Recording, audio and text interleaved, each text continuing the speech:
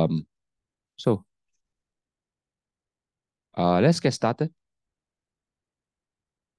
Although uh, we're pretty hot here, but uh, I hope that uh, doesn't stop you listening to our class. Okay. So the goal of today is to um,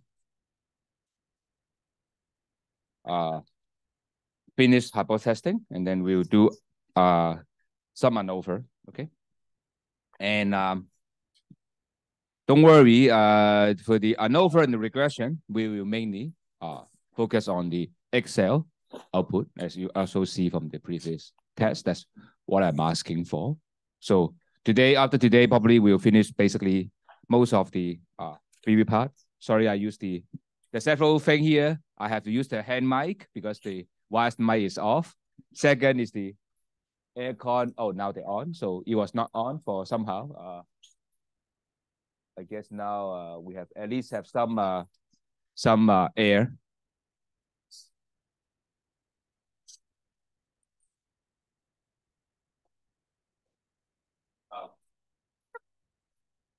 So the goal today, as I said, we will finish this. So let's quickly review uh, what we have been doing. Okay. So um, just to recall graphically what we have been doing, right? And I hope that would uh, serve the purpose of uh, a short review of today's, okay? Um, what we've been doing is the following, right? Um, look at data, right? Say what we do is population, right? Is the subject we want to study, right? For example, is 1.1.4 billion people how much they want to pay for the hamburger, right? For the food, the sandwich they're paying for, right? 1.4 billion, you don't really know how much they want to pay, right? You have to ask everyone, the new burger, new hot dog, how much they want to pay for that, right? And uh, and that is the question, right? You want to focus on the case, the mean, right? The mean meal or sometimes sigma square, but mainly focus on the average where's the pay for the new product, right? Assuming that say you are uh, Elon, right? Musk uh, uh, hired by him, and then he want to know how much 1.4 billion want to pay for his new car, right? The Cybertruck, right? How much want to pay for that thing? And we learned that how if you want to know this, right? One way to do it is the sample mean, right? That's what we call the estimation, right? That is how we do uh, in the previous topic, right? And the current topic is another reverse case is hypothesis testing, right? Where uh, we have some idea of the meal, we want to see if the data supporting it, right? A reverse process, okay? And last class, what we covered is the following, right? Instead of talking one population, we talk about two populations, right? About two populations. And probably you may think two population, the motivation would be thinking, okay, I look at, uh, again, the example of Elon, right? He tried to sell the cyber trucks, right? To say in China, right? 1.4 billion. Can't possibly do everything, right? And the question is, China is a big country, right? Uh, 1.4 billion people. Possibly you may require uh, may want to have different marketing strategy or pricing strategy towards two type of customer, right? For example, men and women, they have different tastes towards the car. Right? For example, color, right? Men may like darker, cooler thing. Women may likely like more bright, more shiny, more kawaii style, right? So the question is, are they going to uh, do different, right? So the question is, first is we want to estimate this guy, right? How much the different? Estimate that. That easy. We know how to do that.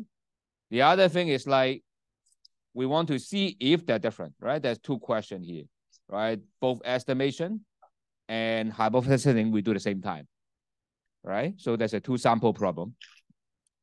And uh, it the way to do it is not very complicated, right?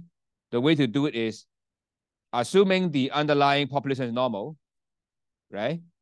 The sample mean you're going to draw is also going to normal, right? Mm-hmm. If this sample mean is sigma one square, right? And the sample mean will be sigma one square over n one, right? Shrink a little bit, right? Because the sample mean is less variation than the original one, right? Similarly speaking, if this is also a bell curve, right? Follow the mean mu two here, right? Uh, sigma two square. When you draw the sample mean, again, it will be also following the same location, but the variance shrinks, right?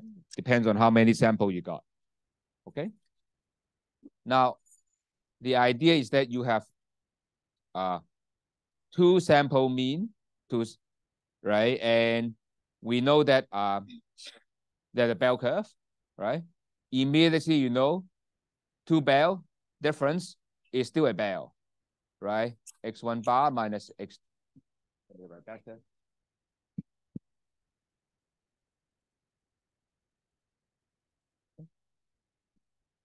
X1 bar minus X2 bar is still a bell, right?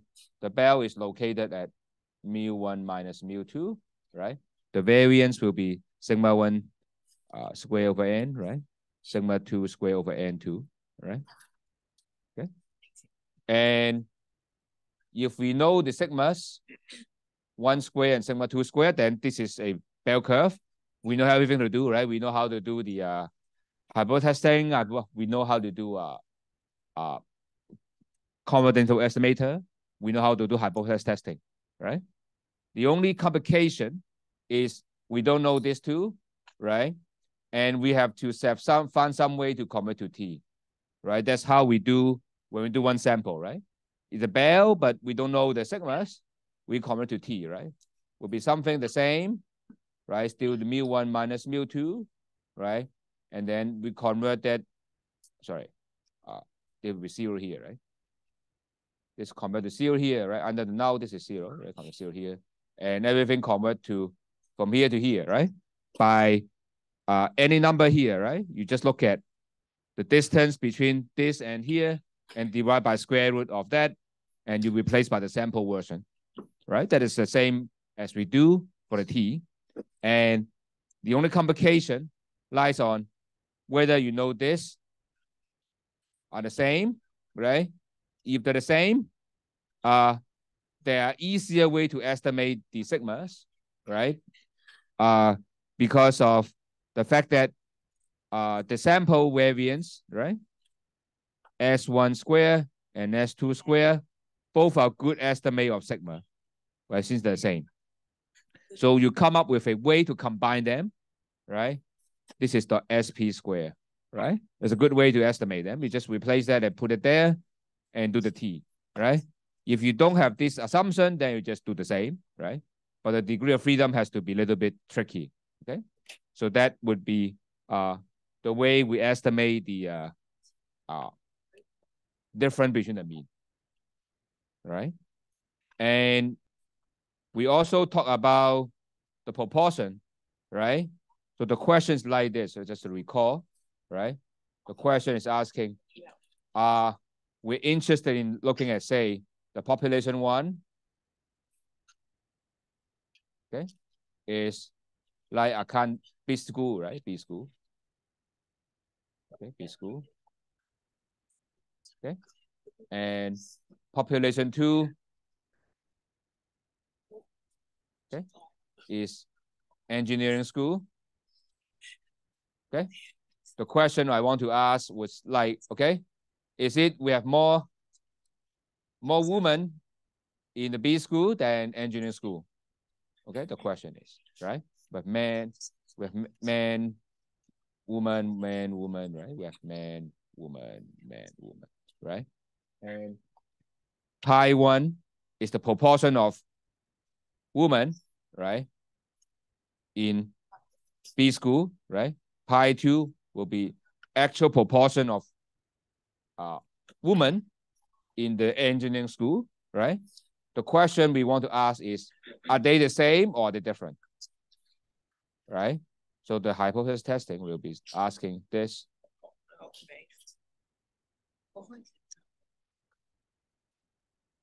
Right?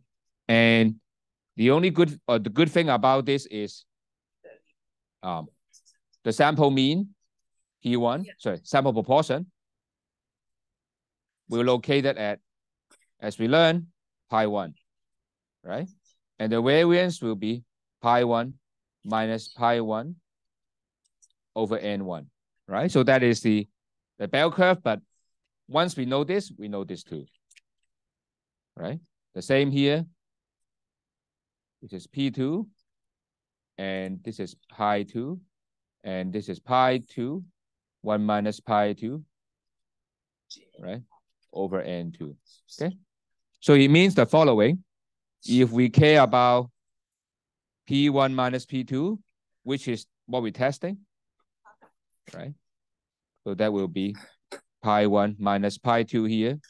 And the variance pi 1, 1 minus pi 1 over n1 plus pi 2, 1 minus pi 2 over n2, right? So this bell curve, uh, we can do everything we want. We're done, right? And probably you ask, how can we know this, right? Even though under the null, this is a zero, the, the trick is we can replace it by P1, right? What we observe, okay? Then we just use the a standard bell curve and we do everything we want, okay? So that is uh, what we are talking about today here, the first thing, okay? So let's go to here, let's go to the slides. What we are doing is the following question, okay?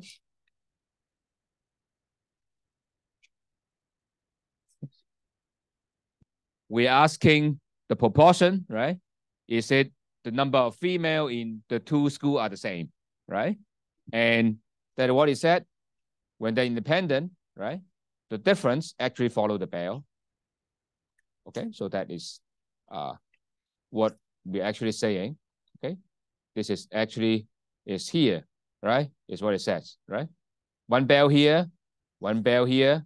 The different is still a bell. Okay, so this is exactly what the slide was talking about graphically. Okay, this is what the slide talked about. And one thing is um, slightly little bit uh little bit trickier here is um because under the null, okay, we have a better estimate of this, right? Because they're same, right? Because they're same. Okay. Then same as the equivariance, we come up with a new way to estimate pi. Okay. Now, how do we do that? Okay. To estimate this, actually they're same, right? They they're actually if they're same, the same mean. Actually, we're saying they're same variance as well, right? And the same variance means that we have good way to estimate this guy. How do we proceed? It's very simple. We just forget about the grouping. Just look at this as a whole sample, asking us how many female in total. Forget about the grouping, right? So that's the best way to estimate. So this is exactly what is said here, okay? We estimate the uh, P prime, which is called the sample proportion, by looking at actually how many female in total and how many students in two schools. Okay, that's how we actually operationalize this one. Okay, let's see the example, then you will understand what we're actually doing. Okay, let's see the example. So the example here is the following. Okay, we have two population binary data, right? Binary means that they're food male or female, or they like curry food or not, right? They want to buy the product or not. And the sample one have sample size 50, the other one is size 40, and sample ball 60, and uh, sample proportion is uh, 0.7. So let me write down the question here so that you know what we are doing, okay? So what we have is the following. So I have the population, okay? Remember, this is B school, B school here. One is a B school, B school. Okay. And B school has a lot of people, but what I'm going to get is 50 and one is 50. Okay. I have 50 people getting from B school. And what he said is 60% of them are female, right? So that means that X1, how many are female? 0.6 times 50. So it's 30 people are female and 20 of them are male. Okay. So that means that P1, right? P1 is 0.6, right? So that is the first thing we know from the question. Okay. And second thing from the question would be we are getting things from the business uh, engineering school, right? From the engineering school. Okay. And how many how many sample I got? I have N2 is 40, right? And proportion of female is 0.7. Okay. And actually, how many female we got is 28, right? Because for 40 times 0.7 is uh 28. So now what we are doing here is we want to do this. Okay. What we want to do is we want to see if the female number proportion the same. Okay. I want to test the following. Is pi one, which is the proportion of women in this school? We don't know, but is it going to be the same as pi two, right? It's proportion of women in engineering school. Okay. The alternative is I just do the simple one. I just uh, not the same, but the two sides are the same. Okay. I the one side will be the similar. Okay. This is the question I'm asking. I want to ask if the proportion of female in two schools are the same or not. Okay. So to recall, okay, what are we looking at here? Okay. Remember these P1 and P2 are the bells, right? So if you look at the difference, it's also following a bell curve like this. Okay. And in particular, under the null hypothesis, okay, this will be center at zero. Okay. And if answer this question, whether the data favor this or that, it depends on how far away from zero, right? If too large, you reject. If too small, you reject as well, right? And the data we got is one is 0.6 over minus 0.7. So that's negative 0.1. Okay. So the question is, is this 0.1 small enough or large enough? So that's the question. And we do know that uh, what's the shape of this guy? Okay. The shape of this guy is supposed to be under this. Pi 1 equal to pi 2 equal to pi. So be something like that. Right, the same. So the variance is given by this. Why? Because the first guy is the variance of P1. This is the variance of P2, right? So uh, you combine two bell, the difference, the uh, the variances add up. Okay. Now, once you have this, the question would be, okay, how to estimate this pi? Okay, pi is the same is the total overall number of female, right? So how to get the estimate of pi? Actually, we, we use the p, okay? How to guess this with p bar. How the p bar do? P bar is we don't care about the whether they are B school or engineering school, right? We're asking how many females in total. How many females in total will be 30 female from B school plus 28 female from the engineering school right? As proportion, add up 50 plus 40, right? So you will be 58 over 90, okay? So that is the P prime.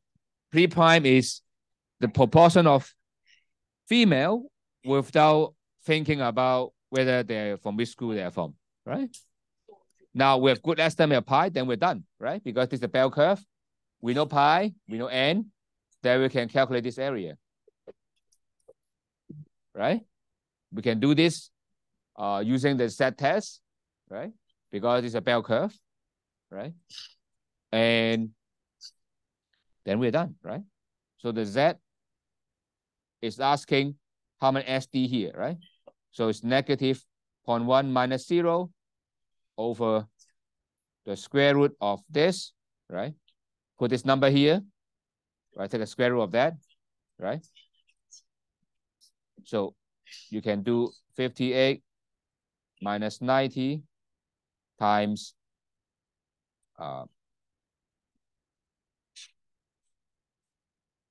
32 over 90, right? 1 minus pi, and 1 over n1, which is 50, plus 1 over n2, which is 40, right? And you calculate this number, right? This will convert us into the Z graph, right? Right, this number to, this number here is what? Then you can calculate this area, multiply by two to see if it's smaller than alpha or bigger than alpha, then we're done. Okay, so the procedure will be same. So that would be the main idea behind uh, the proportion difference. Okay, so let me show you the solution. Right here is we figure out the P bar, right? That's how we do that. And we just plug in the formula Okay. Turn out that this is less than negative one. I mean, or bigger than negative one, right? I should say, right? And we know that actually, even though without calculation, right? Uh, if you use 5%, it's like 1.96, 4 or 5, right? And we know already know um, we are not going to reject, right?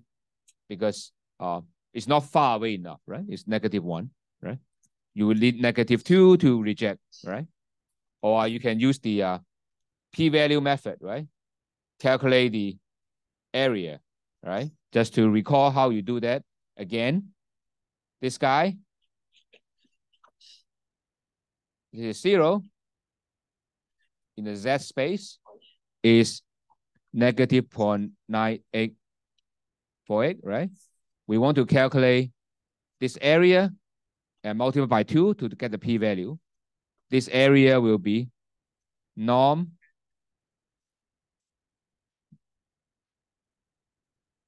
this, norm S dist. Sorry. The norm S dot dist. Okay and 0.9848 true. Okay. And multiply by 2. Why multiply by 2? Because I'm doing the two-side test. Okay. So that is how I get the number. Is that clear for how we do it? So that's nothing new compared to the one sample one. The only difference is um, you have to multiply 2. Okay. So you can see uh, all the time we do is very mechanical. It's nothing very new there. The only thing is under this condition, you apply a new formula. So this is very pretty standard uh, in statistics. So basically, you just learn a new way to apply the new formula and look at this new formula applied to what context. Uh, because we're B school student, we are not from stat department. If you're from stat department, they will tell you how to prove all the things. So uh, we just need to know in what scenario, what to apply, you just put in the formula, then that's it. Okay, I hope that uh, will ease some of the concern you have.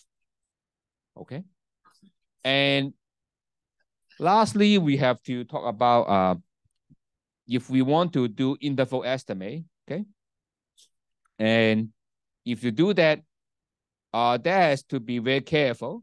Okay, uh, this guy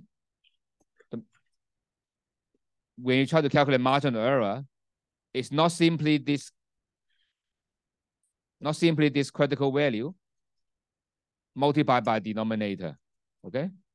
Uh, the reason is that uh, here, when we do hypothesis testing, we are working under the assumption that pi 1 equal to pi 2. And under that, we can estimate the pi easily, okay? So we can simplify that. But without that assumption, we can't do this uh, simplification, okay? So we have to use the original one, P1 minus P2, and P2 minus uh, 1 minus P2. So we cannot use pi P bar here? Because uh, when we do uh, interval estimate, uh, we don't have the assumption that uh, they're the same, okay? So that is the only time I think we have is uh, the confidence interval will be different from hypothesis testing. Usually, there's a close connection between hypothesis testing and confidence interval, right? They're actually that's almost the same thing, right? Because uh, you just take this, right? You take this over this guy, right? Compare with this number, then we're done, right? That's usually we do when we do the two two tail test, right? One tail is slightly different, but uh, you see the uh, logic, right? But uh, in this one, because of we can't do simplification here, so that is uh, uh very different. Okay, I hope that uh help you. Um, so of course, uh, obviously you some of you may understand or may not, but uh, you have to do the assignment to know uh what to do. Okay, and uh to make you feel happier, maybe is uh for the ANOVA and regression, the assignment will be given for you for free, uh, which means that I will give the assignment and the solution at the same time. So uh, everyone got free credit for that one. So everyone got full mark for the last assignment because of uh uh but we the answer will be given, so don't worry. Okay, everything will be there. Okay. So the last assignment will be the one we give uh for the hypothesis testing. Okay. Um So now we come to the very last uh, hypothesis testing. Okay. This one is called F test. Don't worry. It's super simple. This one is super simple. It's way simple than what we want. Okay. So let me talk about this new hypothesis testing. And for this one, it's super easy. Don't worry. So this last one, we are going, last theory, we are, we're going to put in your brain. So hopefully after that, your mind will be less feel less easy, so it's not going to be difficult. So the question we're asking is very simple. The question is, I've population one. What I'm asking in general is you consider this as stock number one, okay? Stock one or portfolio one, okay? Portfolio one, assuming normal distribution, right? And I have the mean mu one and sigma 1 square. Okay. And I also have another population. You can imagine a stock 2. Okay. In your head. Or bonds, whatever. Some investment. Okay. Again, the bell curve. Okay. And sigma 2 square. Okay. So the question now, I no longer care about the mean. I know two stock or bond and stock need not have the same return, right? The mu one and mu two can be different or the same. I don't care. What I care now is I want to know whether they have the same variance or not. Okay?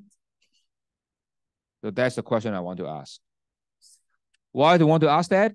Because I want to know whether different stock have different return, right? And that's done, we have asked. But we want to know the risk of the stock one and stock two, right? Because variance is measure of the risk. We want to know whether it's more risky to uh, invest. I, I should close the door.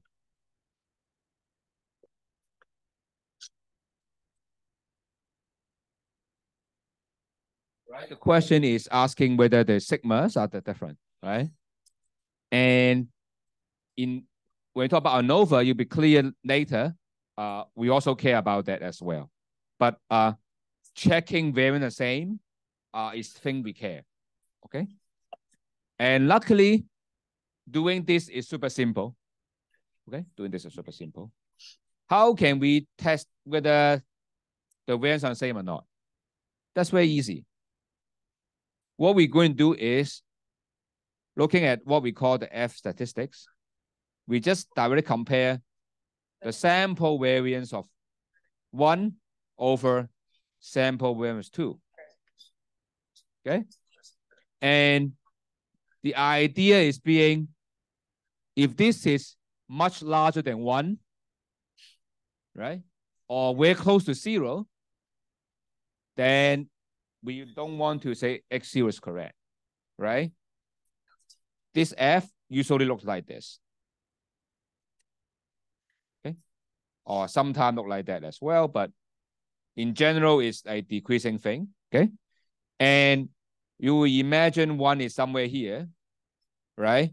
The question is, okay, is it far away from one, somewhere here, or far close to zero, start from zero, right? Because this is a ratio, right? So the question is, is it far away from one, right? Is it too big? If too big, then we probably don't accept that the same, right? If too close to zero, then we reject. Okay. And the only complication for this is this one, the F, this ratio is not symmetric about one. Okay. In T and Z, it's symmetric about zero. Right? Remember, in general, right? X bar have zero here. Right? And we are checking is this is it too far away from zero on both sides? Is symmetric area here. Um, this area, this number here, same as this number, right? If it's t, it's not minus t, right? Or the z one, depends on what you're doing, right? The same idea when you convert, okay? The only difference is when you calculate this, we're asking is this too, too big from one or very close, very close to zero, right? It's very large or close to zero, then we think this is true. If this is very close to one, then we think this is true. Is that clear what we're doing? Okay. So, and to check this table, that's very simple. We just use the F dist, okay? Or we use the F inverse. Okay. And um, the as we said, the complication lies on the fact that you have two-sided, okay? And the complication also the F distribution, okay? Uh, will depend not only on, will depend on the sample size of the two thing you divide, okay? You can imagine that uh, it would separately depend on N1 and N2, right? Because if N1 is more, right, S1 tend to be smaller right? Because more accurate. And N2 is larger, this F tend to be bigger, right? So the shape of this F will depends on independently N1 and N2, right? So when you check the F, you have to depend on N1 and N2, okay? So too much description, let's go to the actual example, to show you how to work. So this question, not very complicated, okay, is I have two population follow normal, okay? And the sample size is 50 here, the other one is uh, 40. And that means that N1 is 50, S1 square is 30. So that's the input I have. N2 is 40, and S2 is 20, okay? So the question is, given this, I want to see where, which is the data supporting H0 or H1? Okay. And what we know is S1 square over S2 square, zero here. Okay. Looks like this shape. Okay. I think uh, probably like this shape. Okay. One would be somewhere here. Okay. The question is, you look at the ratio, which is S1 of S2 is this over this is 1.5. So it's somewhere here. Okay. So the question we ask is, if this area, okay, is it too small or too big? Okay. And usually how we do it is we use the critical value method, okay, uh, to calculate this answer. How to do critical value, right? What we do is look at this.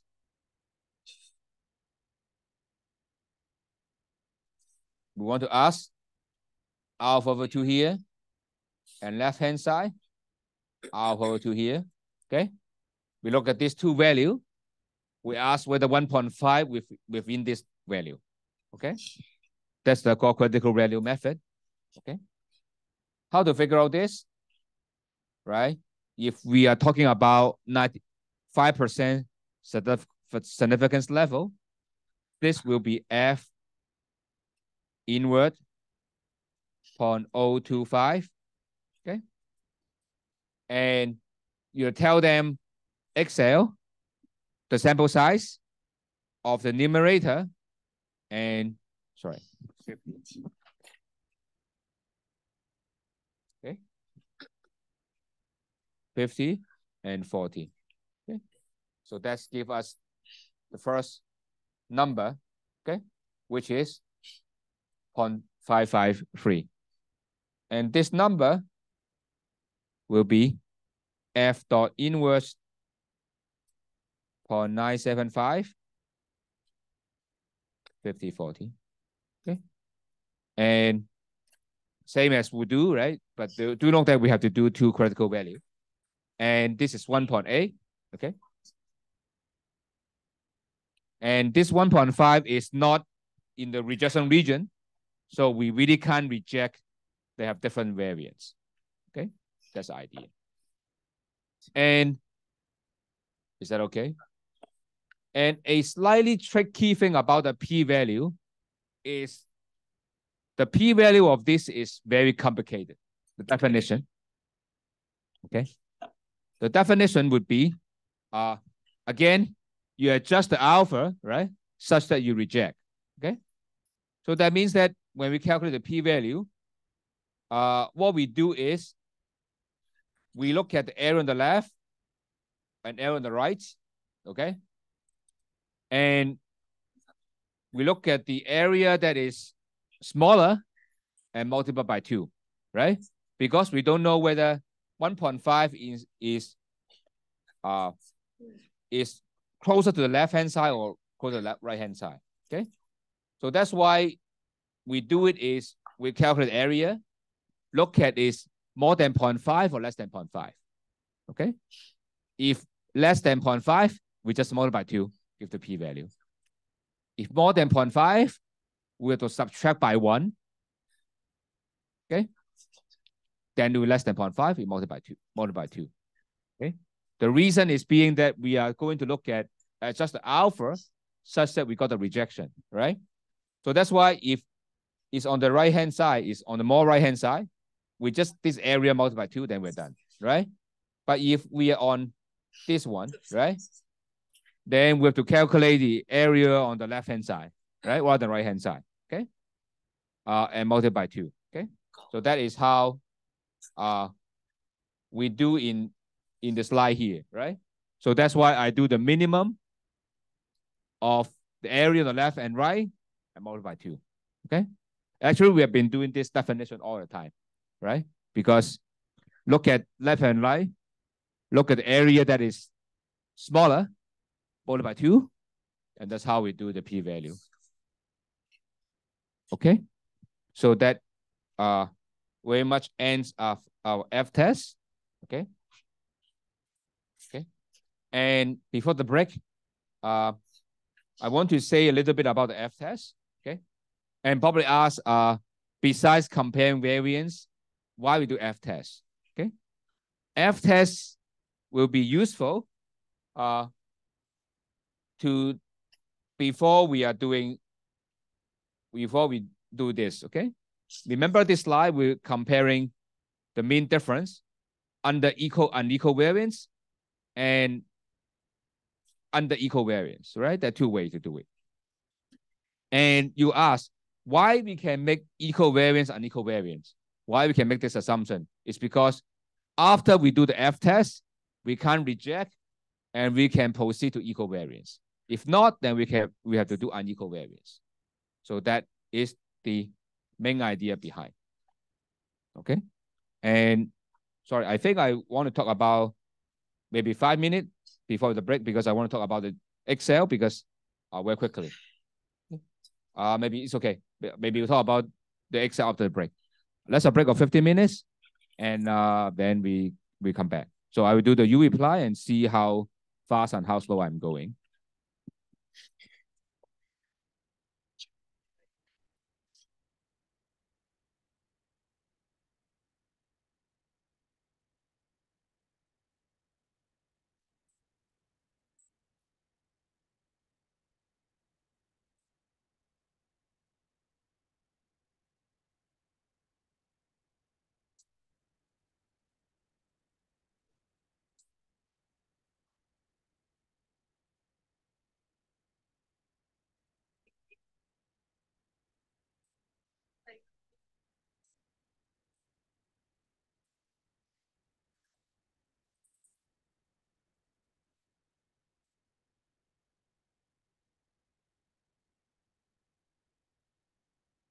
Let's a break of 15 minutes. Uh, we'll resume at 11.35, sorry, 33.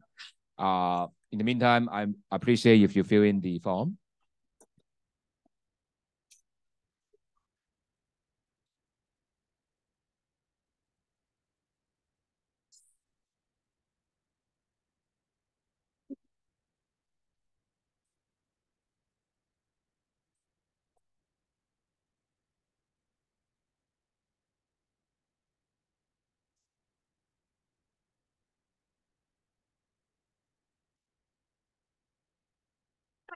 Interesting.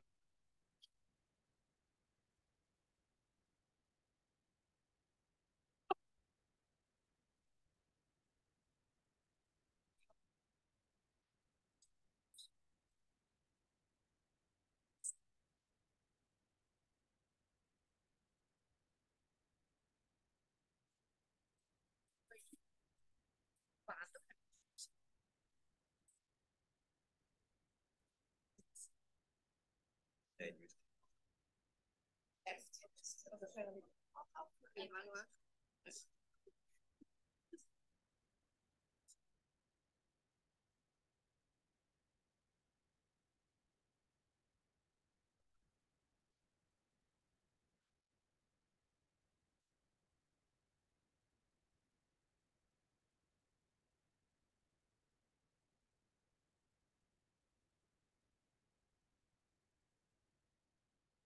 Oh, 即係咁啊！我哋係懷疑，係啊係啊，我哋就係七號考完，跟住之後，耶！我哋七，我哋全部都係七號考完。啊！你明明七十條有停住，我知個，七十條有停咩？佢啱啱話七個，嗰時啊，我七十個。 我想講咧，冇人，嗰啲勁衰咯，啲人咧喺度 like 個 story 啦，唔識做。啊，你知㗎？唔係啊，即係我知道咧，係因為我個 friend，我個 friend 覆我嚇，我撳唔到個條 link 度，嗰陣我先知。係你嗰陣時啲人同我講撳唔到個條 link，我唔知點解，但我自己撳到，我都撳唔到喎。我試過攞人，試過撳到。 係啊，即係我試過攞人哋個電話用我想，但係佢就 D M 同我講話，我我我哋自己 set 到，我哋少咗幾百個咯，還咗。係啊，點解撳唔晒啊？唔小心再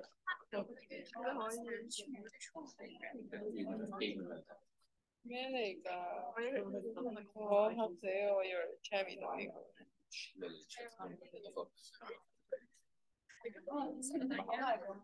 呢個表嚟，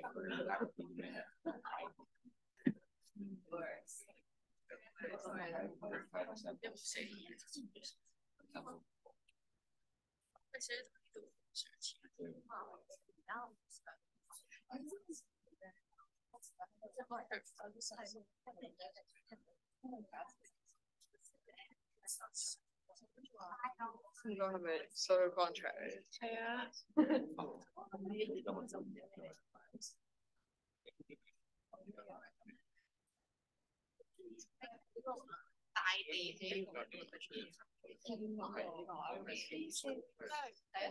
Social contract. Oh, there is a social contract.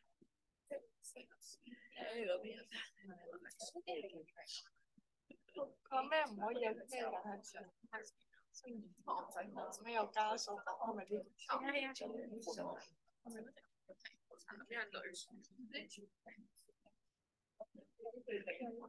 我哋今下齊，好快講完，一個表點樣？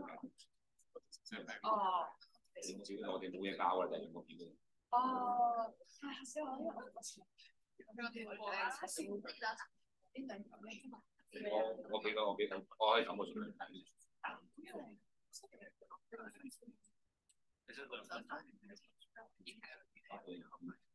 個個資料其實佢 print 到嘅，資料唔同。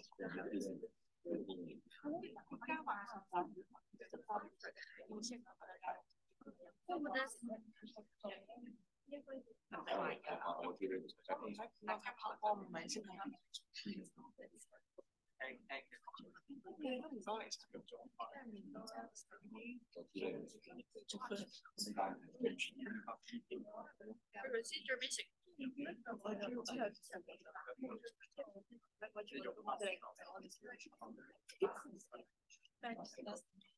我就我就係功課做到邊度？未追到，加油！呢個係 先。我今日都唔知邊。我哋計啲乜差啲咁，好實嘅。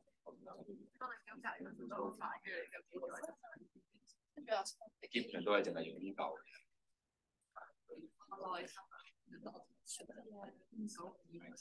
誒呢個咯，冇講到。就係因為我之前哦，哦，因為 如果係啊。如果你俾你哋搞一隻搞。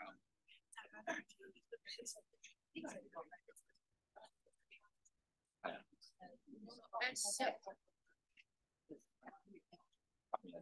我係用翻 V，我都用翻 V。我因為搞咗之後，我因為 佢先好。你搞一隻手都係。用家支持佢冇嘢嘅。如果八十嘅話就，如果八一嘅 sample 就八十啦。佢冇 V。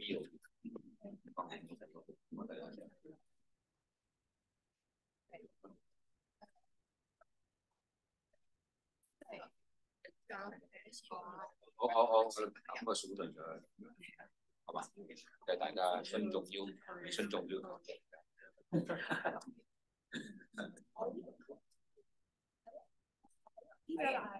好睇，好睇。呢個唔好明，頭先我哋講緊計 P value 嗰陣時咧，你係睇翻呢個 F 係咁樣。 咁如果你右手邊嘅手有細個，如果你係 one side one side，如果你做 one side 嘅話，如果你話呢個係係細個啲，咁你咪睇呢個俾你左手邊。咁如果你 right，如果你係大過去嘅，呢個 P 俾你。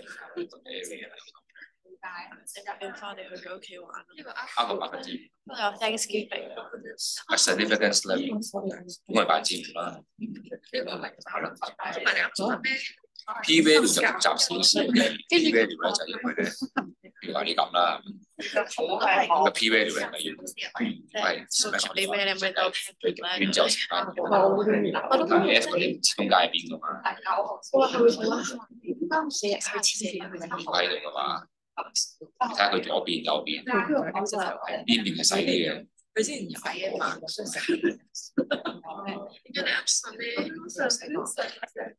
我因為睇下邊細啲啊嘛，嗰邊右邊唔啱。你你可以我畫個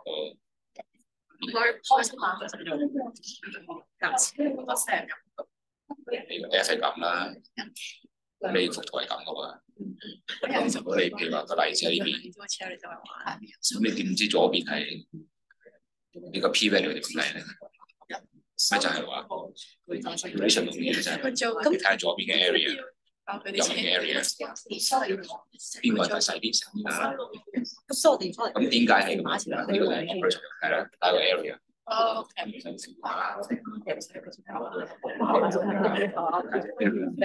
係大咁搞，加埋係啦，你你一一都唔係咁大，你唔知你唔知邊邊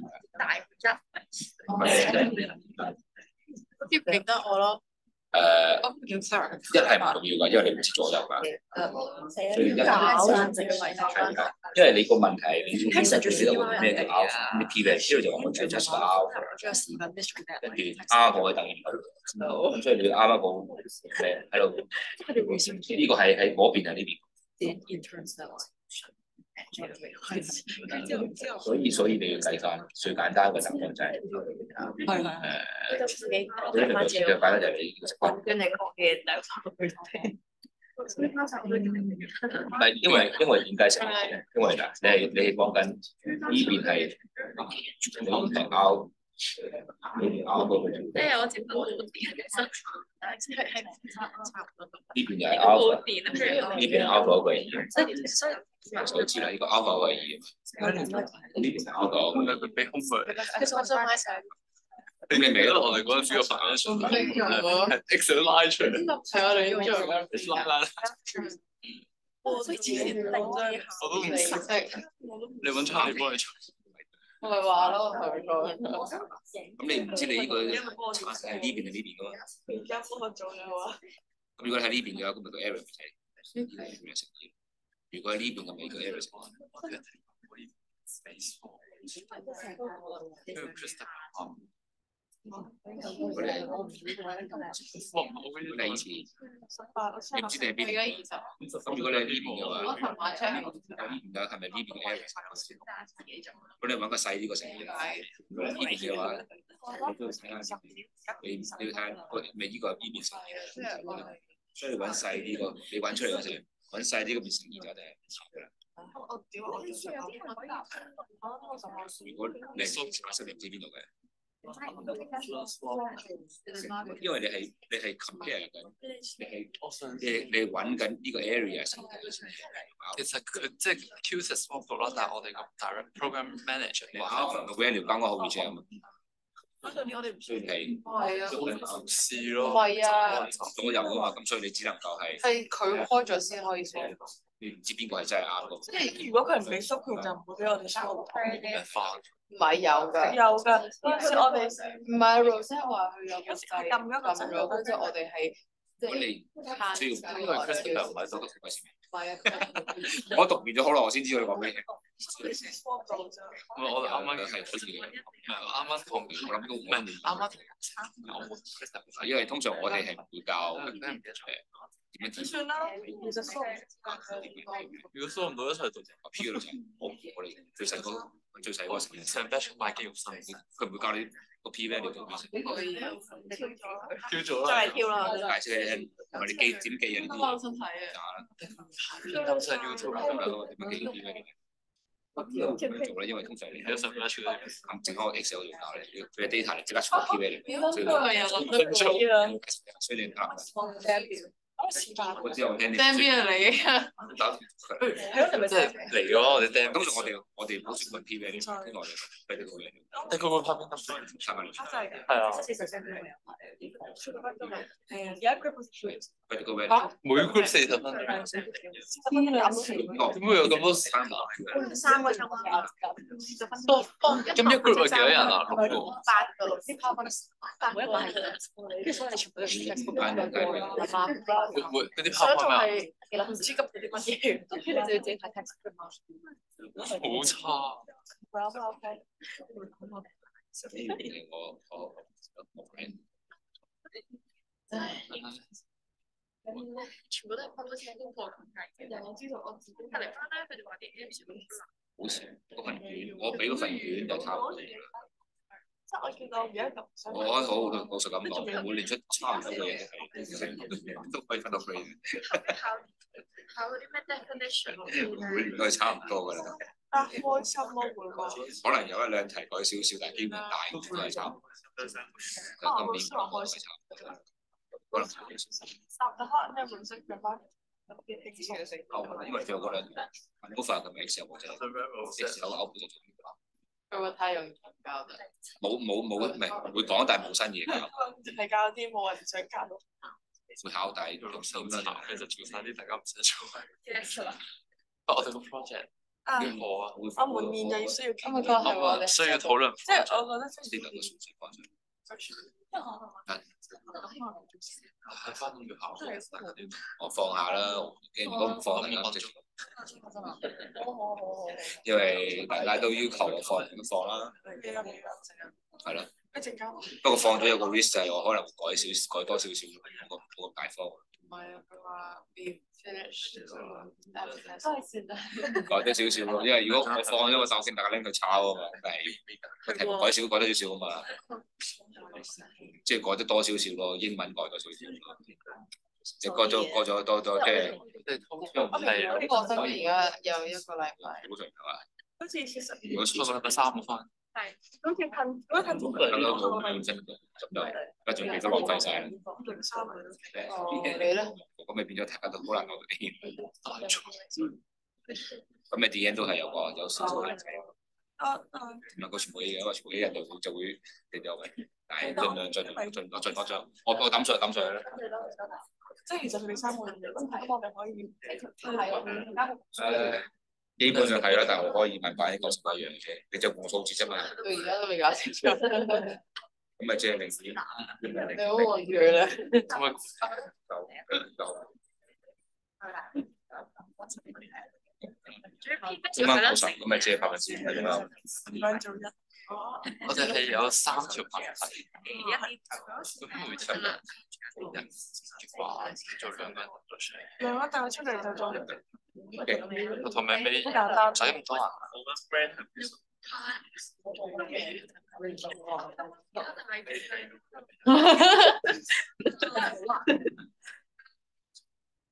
夏天唔晒嘛？哦，因為我唔知就係 T 恤我諗啦，你話係呢個我想 Release release 唔到係啊，你會啲幾多？二十啊，十八啊。人哋嘅嘢。我有 release 嘅嚇。哦，我誒問咗啦，可以十日 哦，十日。 ten days ten 哇 days， Very nice，十一号啦。我未 announce announce 晒。十一号。其实不过我都要 Just a short announcement. Uh, someone asked me the project deadline. I mean, I asked the other group, uh, 10 days, 10 day more, 10 day more. So they agree.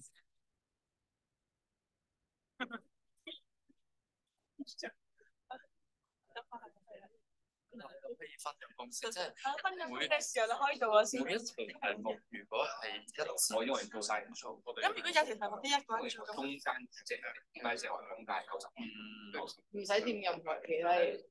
即係可能都頭頭尾尾嗰啲有兩個人一齊晒就即係話咁呢邊呢度唔係啊，我想講咧，好似有一 part 係少啲嘢咯，即係問題嘅話咧我哋睇 ，social social life 係 social life 啊係有啲係長啲啊。我哋上邊個最少？ 最少嗰個物一個人，跟住其他兩個人。睇下望喺度，因為我我係 係啊，啱嘅。你打 WhatsApp group 度，你可以下載一個係對你關嘅一個項目，你可以自己一個新嘅，你自己你手開話。 佢叫 Esther，哦，跟住佢話仲未有。因為好耐啦，我哋係準時，係 Jonathan，Jonathan 我哋準我哋準時。我哋唔係佢開一個 Google Doc 噶嘛，我我哋係一早寫好咯，跟住嗰條友就係再講新嘢。 但係好快啫。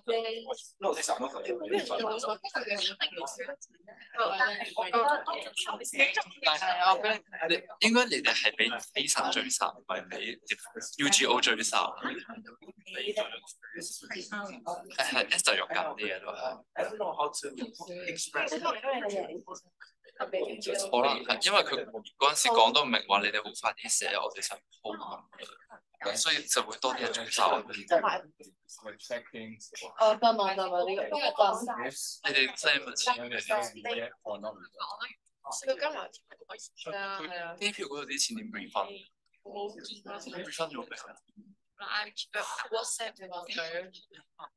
我成日都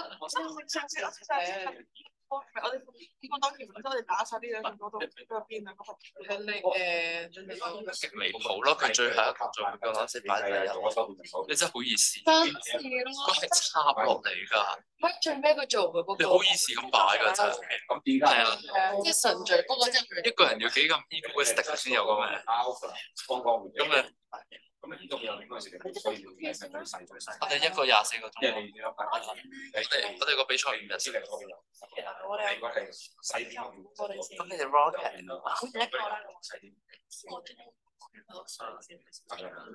哦，唔係啊，我就 share 嗰個計分係點樣㗎？逐個逐個 case 排 winner 總分。跟住揀翻嚟啲即係你哋再有。你哋有冇贏啲細 case？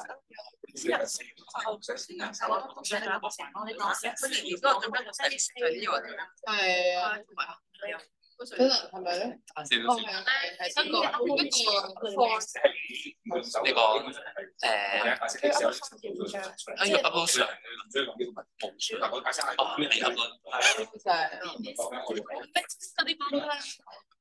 揀啲好強嘅，差嗰啲好 hea，冇喎，百分 Y two K 嗰啲都 OK 即係你等晒佢揀嘅。我我即係 CCTV 百分之誒，同埋 Esther 都講咧，Esther 解嗰啲核突啊！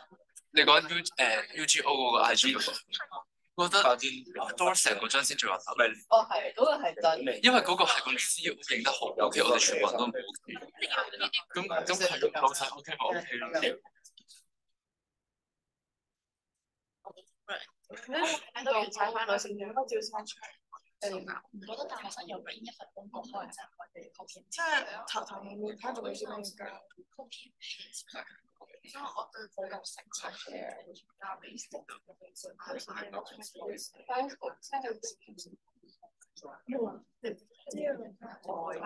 就多過。係啊，咁呢個意義要做埋一啫嘛。你嘅 睇计数嗰两齐做，我会特登出去计数。啊，特登特即系如果你系一个 session 一个人做晒，咁特登嗰个就一个我可唔可以一个答案？First come first。 Um, so let's see.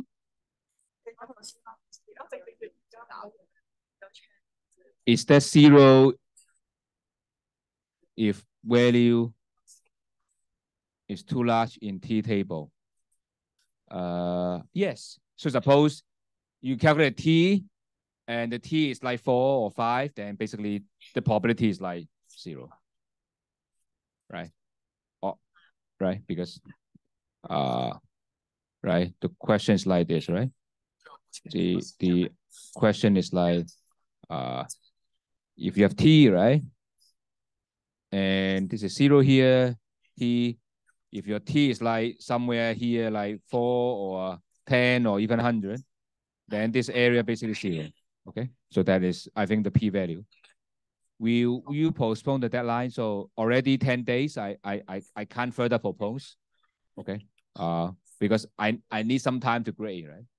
I mean, I have to grade, uh, I have to spend my Christmas to grade your project, right? Because I need to submit your grade after the Christmas. So, I mean, you have to give me some time to grade, right?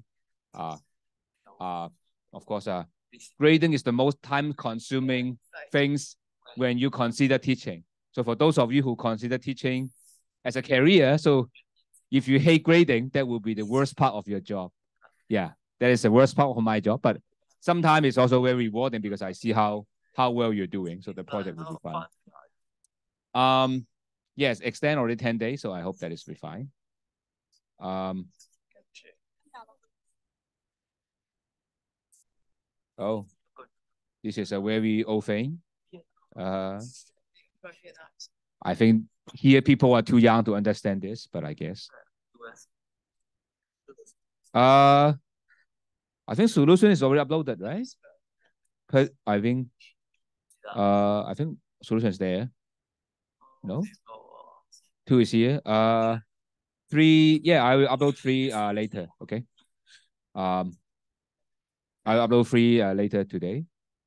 Um, or or the or the uh the TA will upload.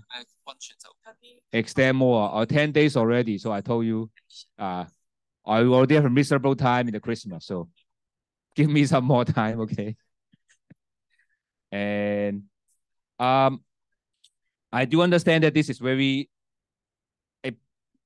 because this is like a problem that is applying formula. So the main thing later you will see is I try to we give the formula that hopefully understand what's going on when we give the data. I will show the Excel, then you will see what, what's going on. So it's not uh, something uh, that you have to uh, work it out in practice. So uh, just make sure today is not Monday.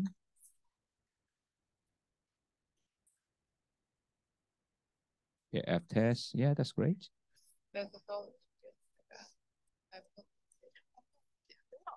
So the speed is okay, rather, I think. Just to make sure that uh, you have to do the assignment to understand what's going on because it's a math class. If you don't do the assignment, especially operational, it's not really math, but it's operational. You need to know the formula, what to apply, when to apply what. So it's not something that I can do it for you, right? No matter how much how many times you listen to lecture, you don't understand. You have to really apply and you know. Uh, that's the purpose of the project as well. Uh, yeah. I hope your final will be good. Um, as some of you request, uh, the solution for the past year paper, uh, usually I don't want to release because of uh, if I release that people will take the take the solution to the exam, and then everyone got almost full mark. That means I have to make the exam more difficult. So since you request, so I should I re, should I release? Okay, but I will discuss. It's okay. I discuss. I will discuss the last class without releasing the solution. I will discuss it. You can take it down. That's fine. But I'm not going to release the written one. I'll talk about the answer in the class. Okay, but I will not release the written solution to that, Okay, if you're 10, this will be fine. Okay, so I will I will still I will tell the answer, but without writing down. You can write down, you can bring that, but I'm not going to do that. Uh, yes, it's we're tired. I, I do agree. I mean, everyone of us tired. Okay, so that's why for the upcoming ANOVA and the thing, we will rely on Excel. Okay, and same for the exam, I'll focus on Excel. Okay, Excel output. Okay, so hopefully, uh, uh, hopefully that is good. Uh, yeah, final Q everyone. Uh, uh, as well as your professor as well. I have hard time to figure out that. Yeah, it's very sleepy. True. Ah, yeah, so sleepy. So everyone feels sleepy. Um, I do understand that it's super sleepy. Um, anyway, so before I end here, uh, let me Excel and then we talk some ANOVA. Okay, so don't worry. I'll make sure that ANOVA is not something too crazy. So Excel is trying to tell you how you do the hypothesis testing quickly, okay? So probably we have done, I, I have to put down, uh, no, I don't have two hands. So, so the question now is, okay, I want to do hypothesis testing, right? One tail test is very easy. You know how to do the formula, there's no need to, I tell the Excel to do it, right?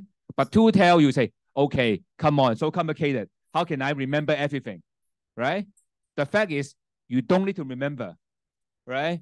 The thing is, I tell you because you need to understand what the Excel output comes out, right? That is actually why why I am I I put Excel there, right? Because but I I I'm going pretty fast on the two te- two sided test. I don't expect you to perform it in the final, right? But I expect you to how to know how to do Excel. Okay, so let me tell you how to do Excel. Suppose I have the data of the two two-sided, okay? Okay? So suppose I have x1 and x2 here. Uh, I don't, I, I put down the mic, sorry. Uh, okay, so x1, x2, I have two set of the data. So I have data like this, okay? One, two, three. Uh, I just put one random data here, okay?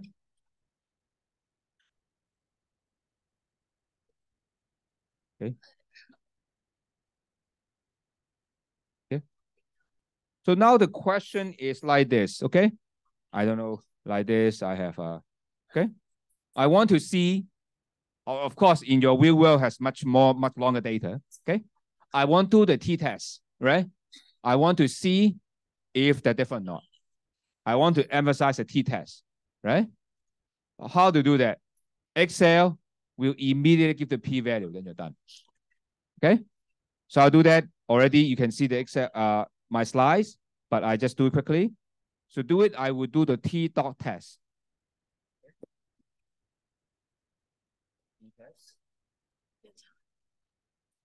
I will do the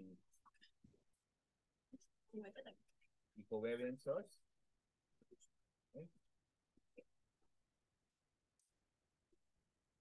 How I do this is not that difficult. I do T dot. Okay, T dot test. The T test. Okay. And T test, I just tell them what data I'm doing. So the first data is A2 to A7. The other data is B2 to B7, BA. Okay, that's it. Okay. I'm sorry, I don't know. I don't know why the uh, Excel is in Chinese. I, I guess someone opened the Chinese version. Uh, but uh, if you read the Chinese, this is called one tail and two tail. If you in your in your in your laptop, if your Excel is uh, English, that would be English. I don't know why it's Chinese for some reason, but this one is the one tail, two is two tail. Okay, so let's do two tail. You can do one tail, whatever. Okay. And you tell them which type you're doing. Okay. And the first one is called pair, right? Remember I told you the pair that actually we study. And second one is called, uh, this is same variance.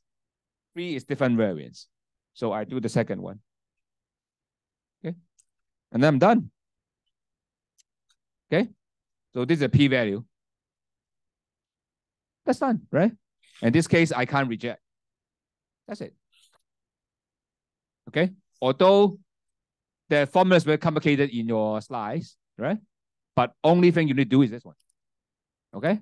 I don't expect you to operationalize that in your, uh, I mean, of course you do it in an assignment because I want to train you, but I don't expect that you reproduce that in your exam, right? So if you worry about the complicated formula, don't worry. I'm not going to be crazy to ask you those, but but I am, I still have to tell you how to get that, right? It's just okay, not just apply the formula P is more or less than 0.5%, right? It's not serving the purpose, right? Uh, the second one is unequal. So let me do that.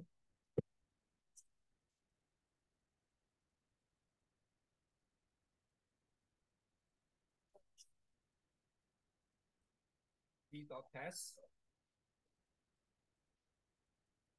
Same thing. I will have the first row and the second row, okay? I now still do the two tail. I do two. Okay. Uh, if you do one, it's one tail is the right right tail. Okay, they give you the right area. So which means that if you want to do the uh right tail or left tail, the left tail, then you have to do minus one to get the right tail. I think. Let me check. Uh, what is the Excel give you? Uh, uh, Excel gives you the right tail. Okay. Uh, that means that if you do the left tail, then you subtract from one. Okay. So if I do the unequal variance, I use three. Okay. So then we're done. So that's how you get the answer. Okay. If you want to see t-test, unequal variance, two-sided, this is what you have. That's very simple, right? Ah, maybe I should do the formula. Let's see. So that's what I have, right? That's rather easy. Okay. That's it. The next thing I want to show you, the other is called paired T. Okay. Paired T, right? Is pair means that, remember the question, right? I have a one person, right? Group of people, how happy he is before he had a girlfriend, right? And ask how happy he is after he has a girlfriend, right? I look at difference between the before have girlfriend after girlfriend. Look at the difference between how happy he is, right? And check, right? So is pair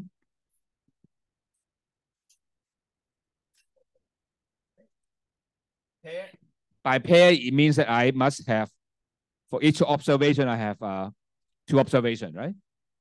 So I don't use this data, okay? So what I'm going to do is a t-test.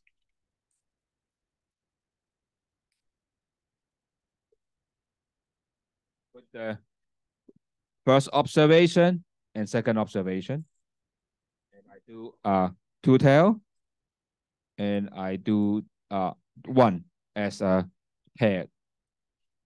Okay. So that's how I do that. Okay. So that actually tells you all the three tests I cover. Right. And um and if you have CO1, CO1, CO1, right? Uh you can just apply uh they don't have the they don't have the proportion one. I don't think they have.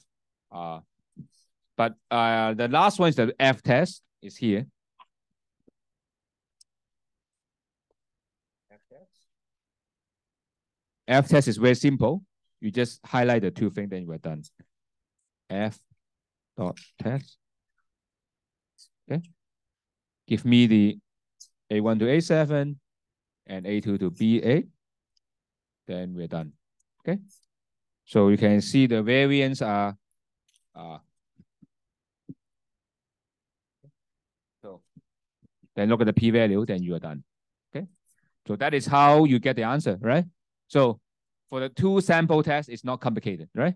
Of course, I don't expect you to remember the formula except you applied it in your assignment, right? So, uh, but you, I hope you remember how to do the Excel formula, right? That is something that I would expect you to know, Excel formula, but not the actual calculation. But of course, I want you to opt to work on the assignment because otherwise you don't know what we're doing, right? So assignment, I still I, I ask you to work out, but for the exam, I I should not ask you, right? If I ask you, I expect you to know how to write down the formula, right? You should know how to write down the formula, right? Is that okay? Is there any question? Okay. One-sided test, I will ask you how to operationalize that by hand, pencil, and paper. Two sample, I expect you to know how to handle the Excel. Is that clear? So for ANOVA and the regression, for the next two classes, I also I expect you to know how to read the Excel output. That's the thing I need you to do. Okay. Any more question? Okay. Let me save it. Later, I'll upload it to the uh, to the uh, to the blackboard.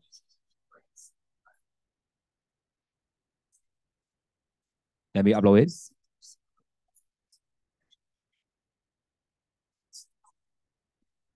Upload it because if I don't, uh, I may forget. Then you will, uh, you may have uh, you may for, I may forget.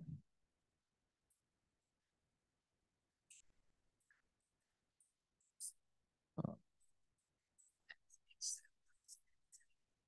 okay, so um, now we quickly go to ANOVA. Okay, don't worry, there's no almost no new concept to that.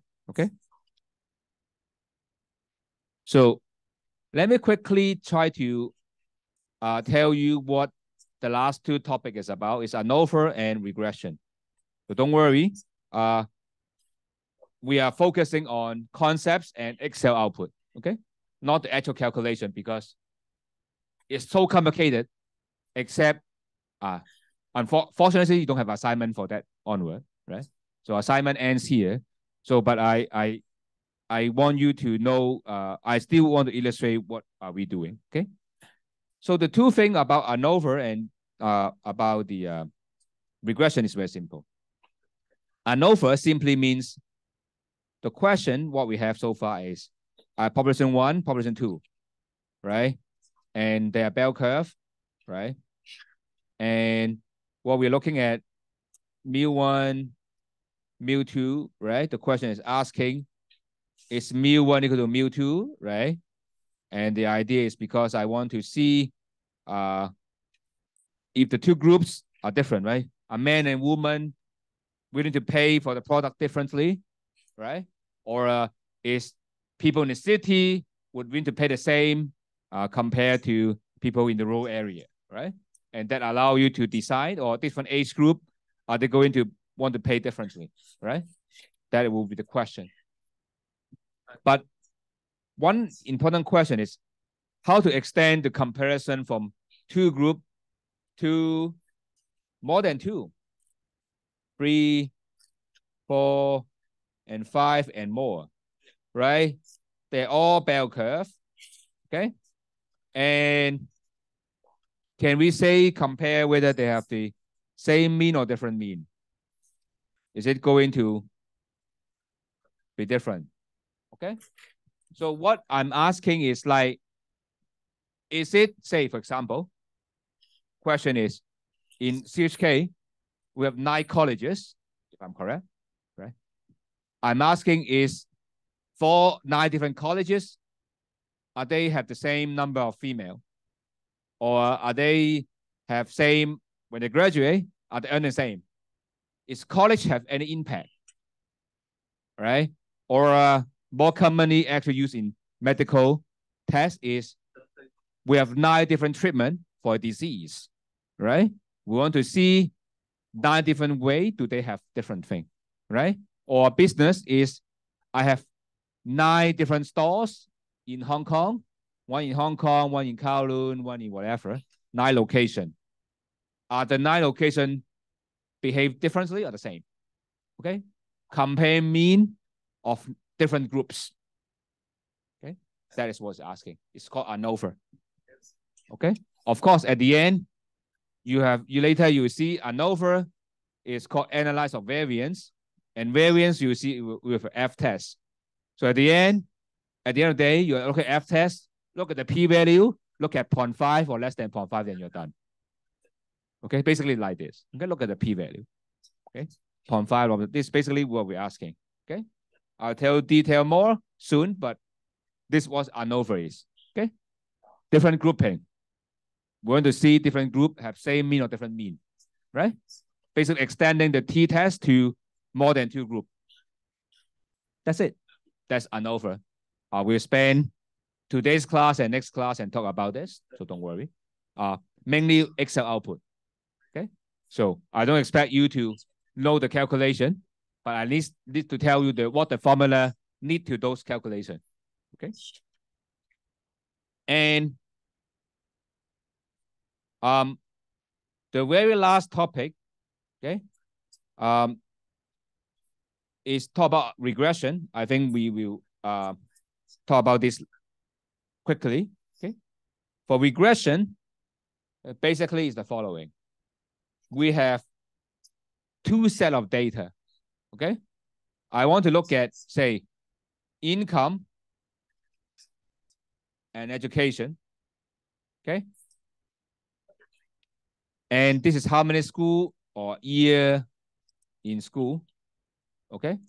And usually you will see this in the data. Okay. Something like that. Okay. And the question is, we can do covariance or correlation coefficient to tell them are they positive related or how strong they are looking at the coefficient correlation, right? That's done. But regression, which would be the most important model that you learn for all statistics, I would say, at least for applied statistics, is I have income here, education here. Okay. I want to come up with the way to draw a line here. Okay. I want to fit a curve. Okay. And what it's doing here is I change the data to a simple line. I condense my knowledge from data to a model, a method model, right? It's a line, right? Y equal to uh, A plus BX, for example. Okay. We will tell you how to estimate A and B. That's estimation. We will test hypothesis whether A equal to zero or B equal to zero. Hyper-testing. Okay. And based on this, right, we condense the knowledge to this one and we do things on here. Okay. So that's basically the rest of the three classes we're going to talk about. Uh, four classes, right? Okay. But we first thing first, we talk about ANOVA. Okay. So don't worry, this is the last few classes basically focus on Excel. So we're not going to focus too much on calculation because no one actually do calculation, not even me. Okay. Never no one do it on paper. Okay. Basically, computer do everything. Okay. So you need to understand from now on is the concepts. Okay. And some of the formulas that you need to know. Okay. Uh, to understand what is it about, right? You see the report from Excel. My goal is to tell you each Excel output, what are those? Okay. And then you know what they are, what they mean, and that's it. Okay. And how to use it. Okay. We're not going to tell you, we're not going to require you more than that because we're in B school, right? So we are not expect you to know all the probability, prob, prob, property of all those, okay? Just how to use it. And what are we doing? Okay.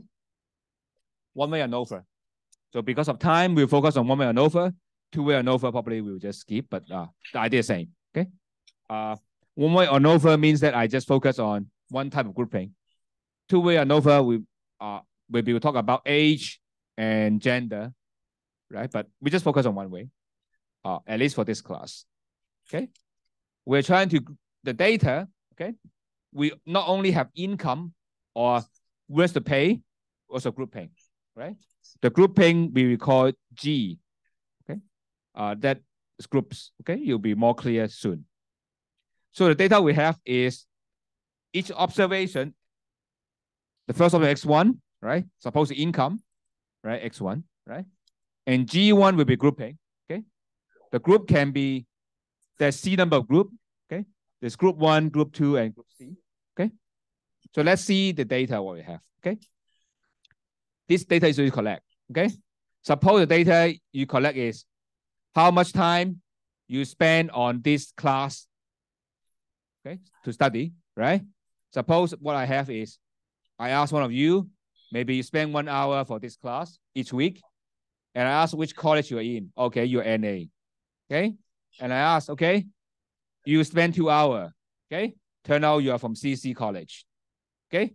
I spend, uh, the next one, I, I spend 2.5 hour. Actually, you are UC, okay? Another guy is zero hour. Why? Because you are maybe in Shaw College, right?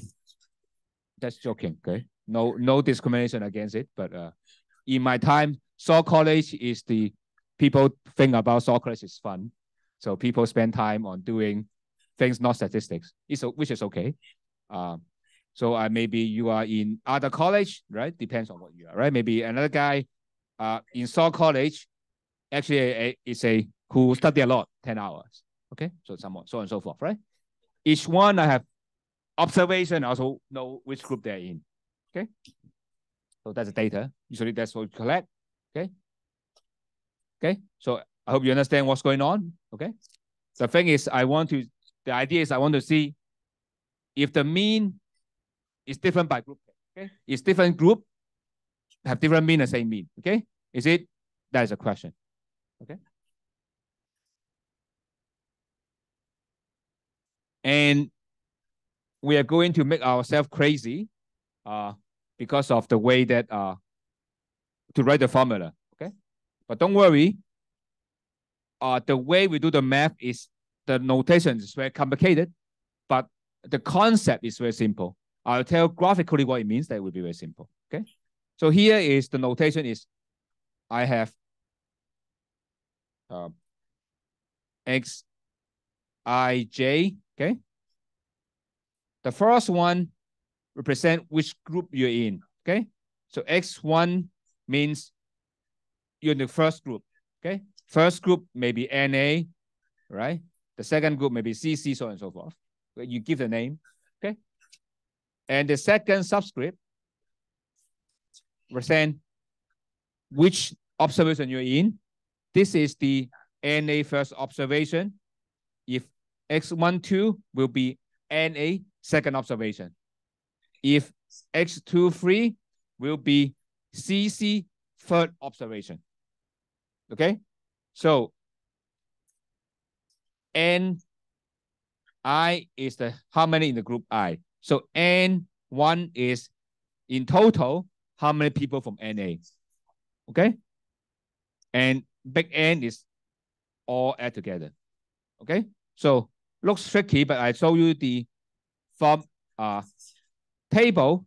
If you write in this form, which is the form that you would do it when you do Excel. Okay, so this is the form you expect to see. Okay, what you will see in the data will be like this: NA College, CC College, Shaw College, UC, and so on and so forth. Okay, you ask them how many times they sleep last night. Okay, maybe NA has sleep eight, hour, one guy seven, one guy six, and one guy work on his project, sleep nothing, right? And one guy sleep one hour, two hour, right? And three hours, so and so forth. Okay. And this is if n is one, right? So this is x1, one, right? And suppose we have 10 observation, this is x1, 10. Okay, so and so forth. Okay, so these are the data you have, and this is data format you'll be using when you do Excel. Okay, so this data format. Okay, so what you do is by group, you order the data. Okay, doesn't really matter which one go first, which one go second. Doesn't really matter. But this is a data set. Okay, so we will describe our formula based on this. Okay, look at this table and then we'll see how to do this formula. So don't worry, the formula you don't operationalize that but you actually understand what they're calculating. Okay. Now, let's go step, step by step. Okay. The assumption of ANOVA is the following. So let's draw a graph and then you will see what is actually asking. Uh, ANOVA is the following. Okay. So we are talking about like this. Well, suppose this is the bell curve for NAs. Okay. And they have mu of NA and sigma square. Okay. The same shape. Maybe UC, UC is here. Okay. Same shape. UC is here. Maybe uh, CC is here. Okay. So the question we're asking is whether actually there's no difference between this. Okay? So whether the hypothesis is asking mu NA is equal to mu UC is equal to mu CC. Okay, so that's a question. Okay, are they having the same shape? under something we have assumed, are they actually located the same location? Okay. So that's the main idea. Okay. And how we actually do this, okay, we'll use the F test. Okay. Compare variance. How we compare variance? The idea is very simple. Okay. I'll tell you that before we do the formula. I don't know we have enough time to do the formula, but I tell you the overall logic we're doing. Okay. What we're actually doing is, okay, we are saying that they're same. Right? That means that this, we look at X bar NA, X bar UC, X bar CC. Okay, this three group, okay? And they're the same location, right? So we can calculate variance, right? You can calculate variance of the sample mean for each group. Okay, look at how different they are, right? Common variance. Okay, the variance. Um, and usually later you will see this is referred to MSG. Okay. Uh, later you will see. Okay. And the next one, we compare the other variance is comparing within NA. I look at data NA. Okay. I look at the data how they separate each other. Okay. And the same, I do the UC and I do the CC. Okay. I focus on data of NA. I calculate sample variance. Okay. I look at the UC, I calculate sample variance. I calculate CC, I calculate sample variance. That I come up with another call MSW. Okay, is variance within each group. Okay, so variance across group. If this is true, these two should be same. I'll prove it, but the idea that if they're the same location, right, this thing cannot be different too much. So that is, I do the F test, compare these two. Okay, if they're different, I reject it. That's the overall idea. Okay, we don't do any proof of that, but that's the main thing. So I compare this. So that is exactly, uh, of course, I will tell you the method, but the overall idea is at the end of the day, we're complicated. I compare this to F, right? If too far away, it's one-sided okay? if it's a right tail test. Okay. So if it's way too big, right? Then reject, right? Because this variance must be larger, right? Because this guy, right? If they're different, they should be much larger than within itself, within its group. So it's a one tail test. Okay. So that is the thing. Uh, of course, we'll tell you how we define MSG, MSF, so and so forth. But at the end of the day, uh, what we want to know is at the end of this, I don't expect you to know all the calculation, but I expect you to understand, which I will, actually I asked last exam, is to look at this table. Okay. At the end of the day, look at this p-value. 5% not. Okay, of course, I will tell you what are these, how to calculate that. Okay? At the end, this is thing matter, this number. Excel will output this guy. So I will tell you next class, tell you how we come up with this. Okay. That will be the goal for ANOVA. Okay. So you just need to know how to get this number. And that's it. Okay. So not very ambitious for the next class. Okay. Um, so I will I think it's time. So I will see you on Friday.